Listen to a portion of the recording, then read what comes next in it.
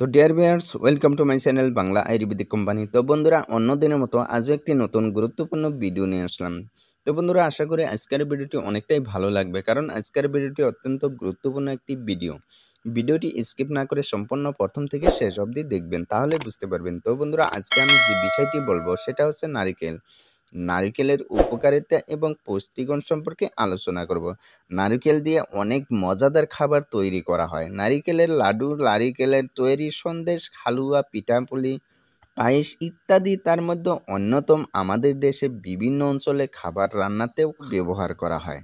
যেমন নারিকেলের সঙ্গে কাঁচামরিচ ও চিংড়ি দিয়ে ভাজি একটি মজাদার খাবার। বর্ষায় এই নারিকেল শ্বাসের আরেকটি খাবারের খুব প্রচলন রয়েছে। তা হলো ক্ষয় এর সঙ্গে এই শ্বাসের গুঁড়া ও গুঁড়ো মিলিয়ে খাওয়া। এর উপকারিতা, নাম্বার এক, ত্বক কোমল করে। নাম্বার দুই, চুল ভালো রাখে। নাম্বার তিন, শক্তি যোগায়। নাম্বার চার হার্ট ভালো রাখে। নাম্বার পাঁচ, ইনসুলিন নিয়ন্ত্রণ করে। নাম্বার ছয়, ওজন কমায়। নাম্বার সাত, দাঁত ও হাড় ভালো রাখে নাম্বার আট, হজমে সহায়ক।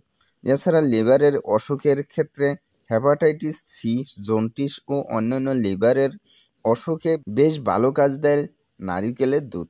নিয়মিত নারিকেলের শ্বাস খেলে ব্রেস্ট ক্যান্সার, কোলন ক্যান্সার ও অন্যান্য আরও কিছু ক্যান্সারের ঝুঁকি কমে যায় অনেকখানি। তো বন্ধুরা, এই ছিল আজকের আলোচনা। ভিডিওটি ভালো লাগলে অবশ্যই সাবস্ক্রাইব করবেন এবং পাশে থাকা বেলাইকনটি ক্লিক করে নোটিফিকেশন অল সিলেক্ট করে রাখবেন। তো বন্ধুরা, ভালো থাকুন, সুস্থ